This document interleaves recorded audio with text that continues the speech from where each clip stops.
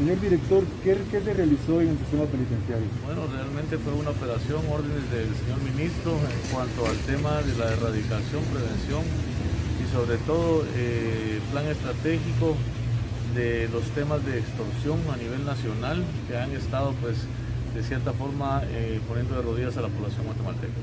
¿En qué centros de privación de libertad se realizaron estos bueno, específicamente fue un traslado de 27 personas, de los cuales fueron eh, trasladados de Paijanes 2 para el tema de Pavón, eh, con la finalidad de que este únicamente sea temporal y resguardar la vida de estas personas, pero también poder tener un control total, ya que las, eh, todas las instalaciones fueron remozadas específicamente para poder contrarrestar este tema.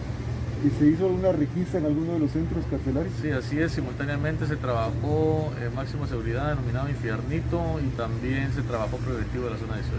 ¿Se tienen resultados hasta el momento, señor director? Pues los resultados han sido positivos de que todo ha salido sin novedad. Hemos tratado de mantener todo fuera o sin violencia, ¿verdad? Para que estas personas pues puedan estar en un lugar adecuado y sobre todo que nosotros podamos trabajar eh, como parte de un tema estratégico interinstitucional eh, con, la, con el tema de la erradicación de este, de este delito.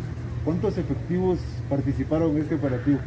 aproximadamente 2.000 elementos entre Policía Nacional Civil y Guardia Penitenciaria. Director, ¿estas son órdenes presidenciales y ministeriales? Así es, hemos estado trabajando pues, eh, bajo estricta supervisión del Ministerio de Gobernación y sobre todo pues, en los temas de de ese trabajo en equipo y las órdenes que se nos dieron desde un inicio de trabajar interinstitucionalmente, lo cual lo estamos haciendo el día de hoy.